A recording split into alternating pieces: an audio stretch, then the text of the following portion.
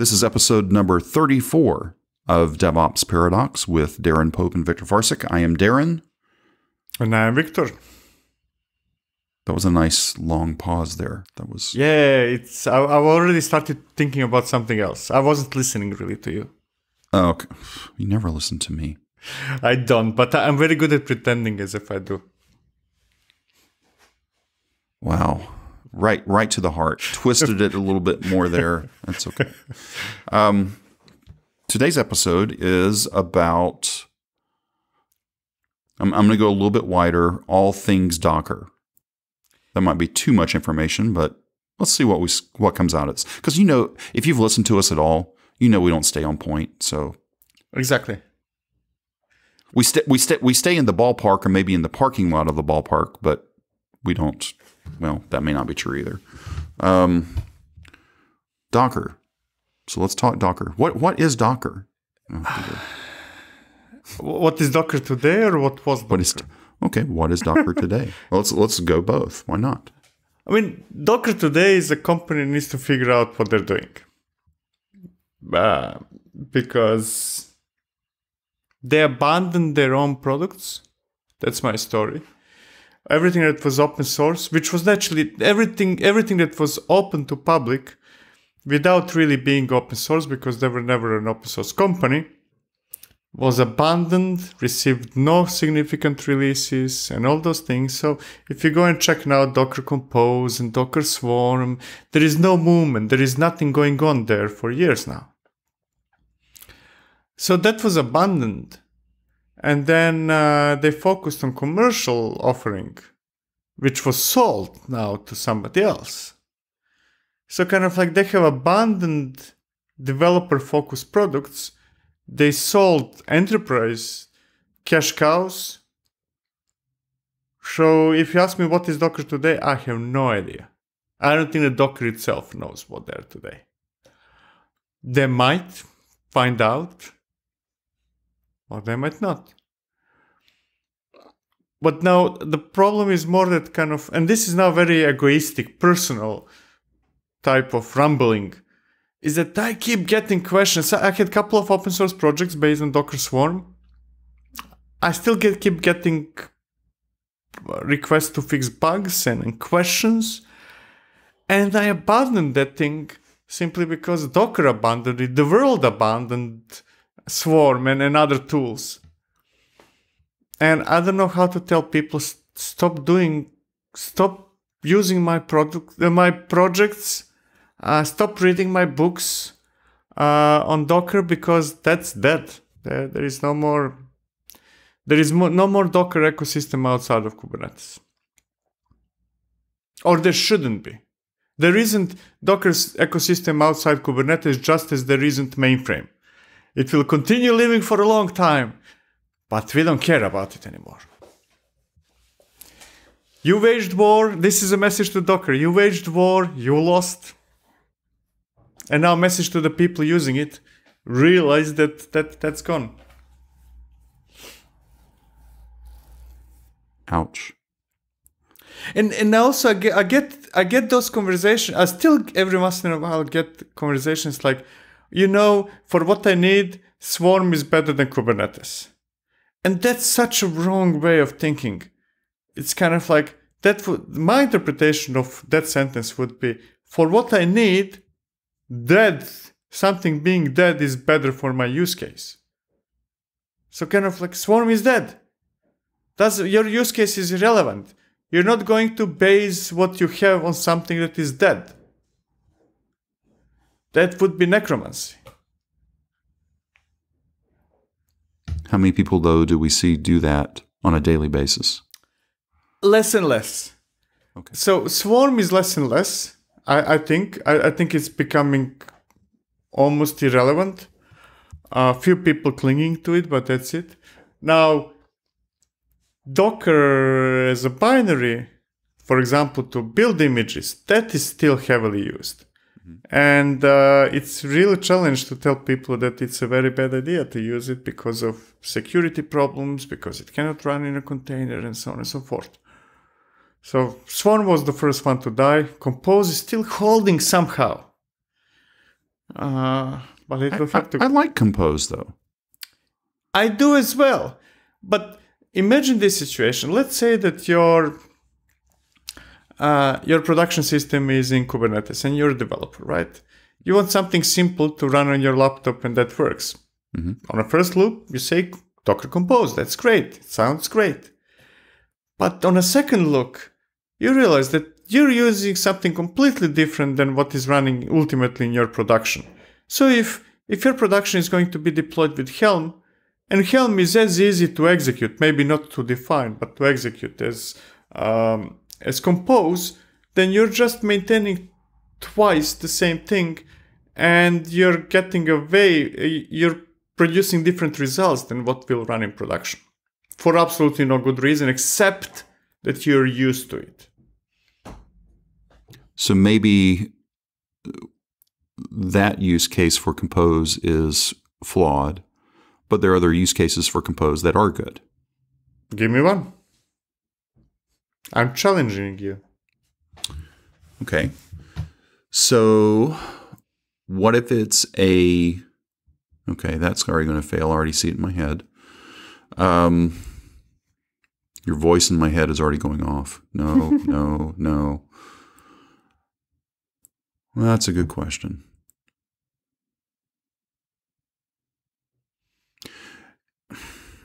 Exactly. The only the, the the only reason you would use it is if you can't get it to Kubernetes for whatever reason. You're you're it, it's it's a sort of like our last episode. You you've got some stuff that you just need to maintain because it's going to move to something else. That Yeah. it sort of falls in that category. But the real question is that something that you cannot get to Kubernetes. Do you think that you will get it to Kubernetes Yes. later? Yeah, yeah, yeah. yeah. Then, It's just it's just timing. It's Yeah, it but is. but then if you will get it to Kubernetes later, uh, but and but you cannot control that right now, but you can control what's running on your laptop. Knowing all that, shouldn't you use Helm? And I'm using or Kustomize or any of the Kubernetes thingies. Right? Well, mean, it- do, do you really want to willingly create a technical debt, knowing that that's not going to fly in the future? so this gets back to maybe with compose i don't need all right so let's, let's say compose against um mini minikube right is that is that your comparison or no No, I would say Docker for Docker desktop, if you're Yes. Mac or Windows user, Yeah. runs both Docker's Docker proprietary stuff and Kubernetes. So Mm, that's true you're not changing Well- right? It's going to be Docker desktop no matter whether you're doing Kubernetes something or Compose something. well that's assuming you actually have your operating system upgraded to a point that you can install that version of docker desktop Yeah, I mean it's been years. So if if you're like if you if you cannot install Docker for desktop, just just change profession. Go go work in a supermarket. I don't know something else. so you're, We- we're me, not- We're you're not, telling me to go work at a, at a grocery store right now how old is your OS? oh, it's el cap so it's three plus years old Why don't you upgrade it, man? because i'm What's wrong with you? because well i need to do backup i need to I just Okay. it's, yeah exactly I was harsh. Uh, I mean, first of all, those problems will not disappear over time. They will be just bigger for you. Second, okay, use Minikube. I mean, Minikube is also a single command. It's not a big deal. yeah still better than compose okay fair enough I'm not saying better. It's it's not about better.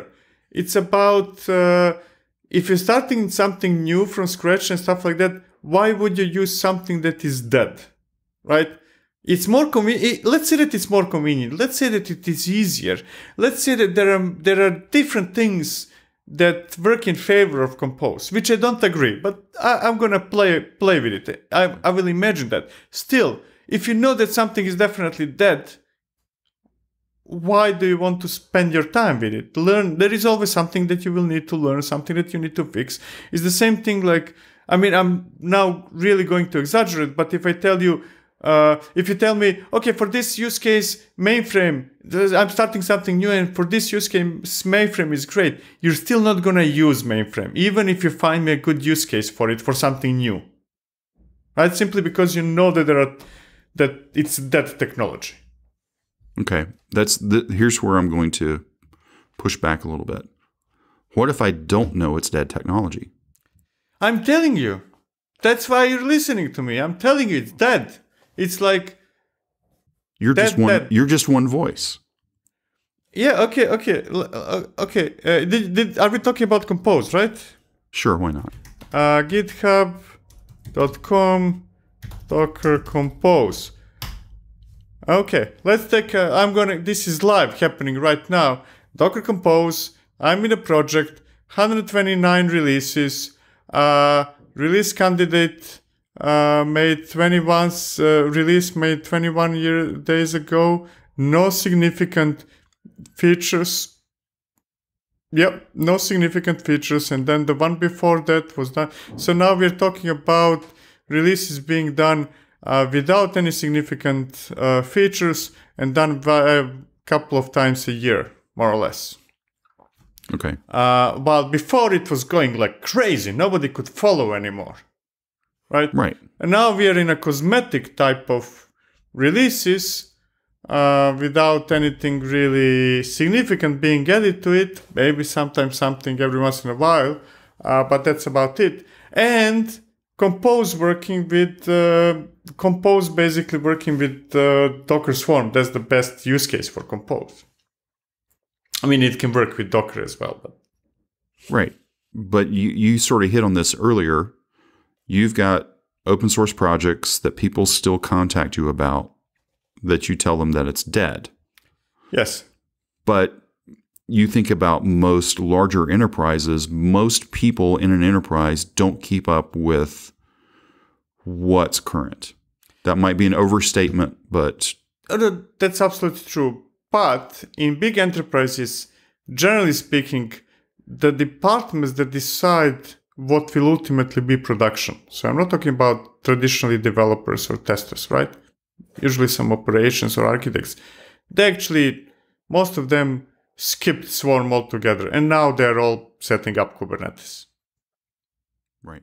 So your company roadmap is is, is in Kubernetes or going towards Kubernetes. And I doubt that you, as a person working in that company, you're completely oblivious that your company is at least planning to go to Kubernetes. How likely is that? Probably pretty high. If, Probably. if, if, if I'm a, if I'm a Java developer doing Spring Boot microservices, I probably don't know. Yeah, then. Yeah, but okay, I agree. You got me there. You probably don't know. And this is now. We're going to move in a completely different, different subject uh, that we already discussed. So you don't know, of course, you don't. Excellent. Uh, so you know how to write getter setters, and that's your job description. Yep, you work for the Jira factory. Yeah. So actually, really, if if that's what's happening, it's completely relevant what you're doing because you don't affect really your company and what the company does and stuff like that. And you're going to continue fighting with the rest of the departments in your company because you're all misaligned. You're all going in seven different directions and you're all in charge for a tiny fraction of a life cycle of your application. That is making that is making 98% of the revenue for the company. Uh, in a very, very um, inefficient Yeah. way. Yes. And that's what I'm trying to poke at is the inefficiencies of this. Yes, it's inefficient that I haven't upgraded my MacBook to at least not the latest one. What is the latest one? I don't even, I don't even know anymore. I don't know. or at least in minus one, right? You know, that's that's my fault. But But that's I, I, look at a lot of people that are just now getting off Windows 7. I mean that's of course, but kind of like so I let's let's say let's take you as example, right? You have your reasons not to upgrade, right? But you are going there willingly. You know what you're missing, right? And I know Yeah, it- from some yeah. previous of our conversations that we had that I was trying to convince you to use a tool, which I'm not going to mention. You said I cannot. Maybe if one day I upgrade, you're you know the pros and cons. You made Yeah. the choice. That's okay, and you live with it. Uh, but then again, probably if you have a really good use case for something, then you're going to upgrade. Sure. Uh, my best guess is that you're not upgrading because you still haven't found a good reason for it. But if I, for example, if you start working with Kubernetes locally and you hate Minikube, you want Docker desktop, you would upgrade. Right. But again, that's easy when I'm an individual doing it. If I am in part of a big machine and they control what I can and cannot do. Now, my choice at that point is do I stay or do I go? Not only that, but then you know if if if you if everything you do is controlled or out of your control, then this conversation is relevant. Irrelevant. We're not talking about whether you, that hypothetical person, should use Docker or Docker Compose or Minikube or Kubernetes. There is not that discussion. You're just doing what you're told. So this discussion is more or less irrelevant, right? If, if you have absolutely no this no decision making power in any form of way. But what if well, there is no what if at that point. Because you know, in those cases that you're telling me, uh, and I know quite a few, you probably don't have root access to your machine. You cannot install Compose anyways. Right. Yeah, that's true. So it's it's just a sad story, right? Yeah. So to me, Docker is probably the saddest story in in industry that I can recall right now. Amazing company brought to the whole industry a lot of advancements, changed the way how we think, changed the way how we work. There would be no container, massively used containers today without Docker, probably. Uh, and then they failed miserably. Well, okay, so let's stay there for a second. The you're saying, it, it, well, whatever the phrasing was that you used, but there were containers before Docker. Yeah, massively used. Yeah, but that's the key point: massively used. Yeah. What why what do you think caused that big change, that shift? Simplicity. It was very very easy to create containers, and then after that, a lot of new stuff that actually did not exist before were created. But if you try to mess yourself with namespaces, C, C groups, and all those things, it's not easy. It's very hard, and most people, uh, most people are not going to go that deep, right? Most people are not uh, deep into operating systems and all those things that that that were required before contain- Docker. Most people just want to use cool tech for the work that they're doing that is not really directly related with containers or any of those things. So basically, Docker brought it to the masses. You know, kind of. Yeah, industrialized it. Yeah. The well, what's interesting though is still talking to some people that are supposedly tech and still have not heard of Docker. Okay, now now this is this is going too far. So if you haven't heard about Docker, then uh, I, I, wish it weren't true. Uh, I know, but uh, then kind of there is no hope for you. Absolutely no hope. Yeah, it's it's it's just now getting to the point now where pretty much everybody's at least heard of Git. Yeah, but, but that hypothetical person probably is not listening to this because they gave up after first episode because we were just talking about things that that person never heard before. Yeah. Well, and sort of a, a variant of that is we're talking specifically with tech.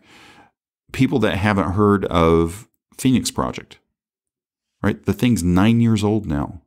Yeah. And I still run into people that have never even heard the story. And yet they purport to be DevOps practitioners. I think I just threw up a little bit. Um, so it, it's okay that you, if you haven't read Phoenix Project, that's okay. If you haven't been using Docker, that's okay. Or many, many other things that I can continue listing for a long time, right? It's okay if you're not using it or read it or what's not.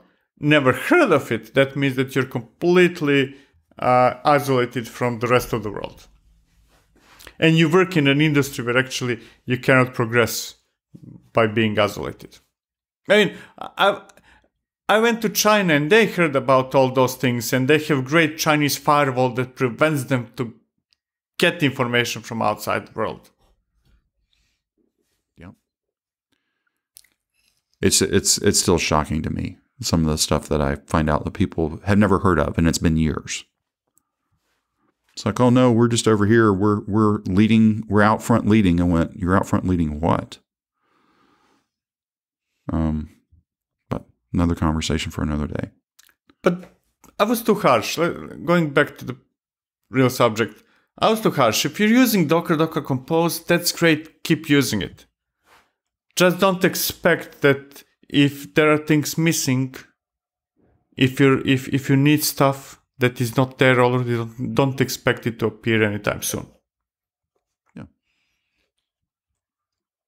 We're we're not. We're of course we have no dog in this hunt.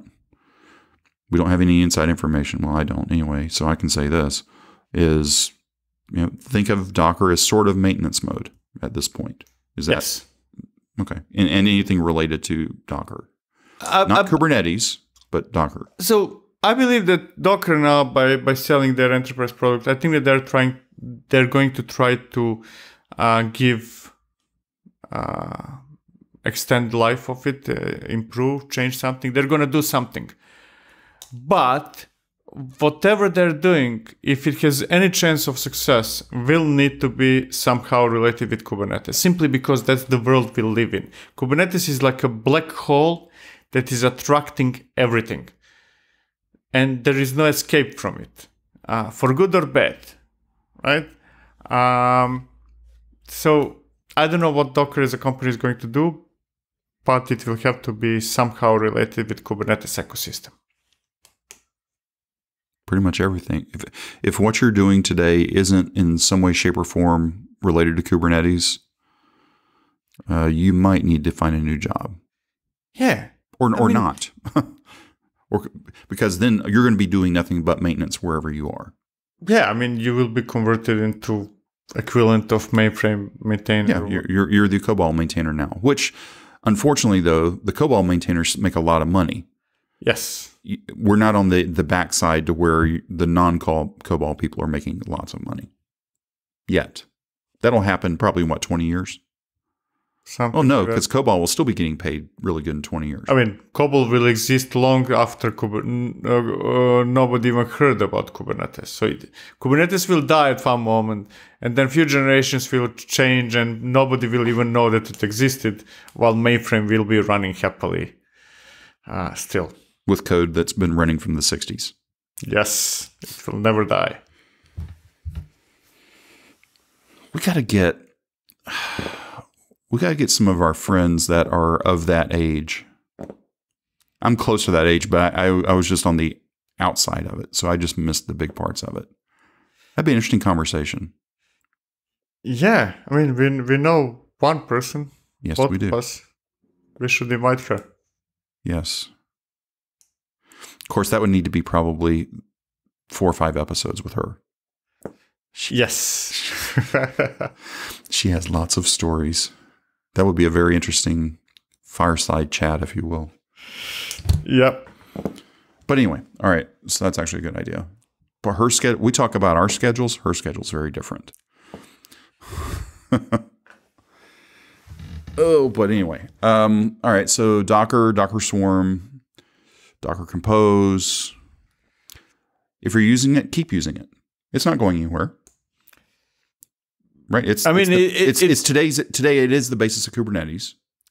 So i it's not going anywhere can be interpreted, if I understand English correctly, in different Yes. ways. Yeah, I didn't So mean it in the it's not going way. anywhere like it's going to stay here forever. I wouldn't agree. It's not going anywhere in terms that it's going to stay as is. It's not going to continue evolving. Then, if that's what you meant, then I agree. I actually meant the first, but the latter's true too. Oh. well, near near term, it's not going anywhere yes. for, for both for both statements because Kubernetes is currently tightly bound to it. Yes. So, all right. Well, if you thought this episode was interesting, not you, Viktor, because you're the most interesting man on the planet. I don't think so. Yeah, okay. But anyway, uh, leave us a rating or review, preferably on Apple, because most of you are listening on Apple now. We've seen a big shift towards Apple products, which is sort of interesting. I've also been noticing that we're doing really great in Estonia, Hong Kong. Um, so we definitely have a stronger European presence, European and, and APAC area. The US people just haven't caught on yet. But is that abnormal? No. It's always the US is slow. Uh, in tech, it's not. Yeah. Well, on the West Coast, it's not. East Coast, yeah, it's slow. But anyway, uh, if you want to contact us for anything, you can go out to devopsparadox.com slash contact. And all of our contact information is there. And if you would like to leave us a voice message or send us an audio complaining that you guys suck, do we suck the least this week? We're still working on we're still working on the course. It's coming. We're not exceptional, but I can think of quite a few people who are much worse. Okay, I would. I don't even want to do an episode about that.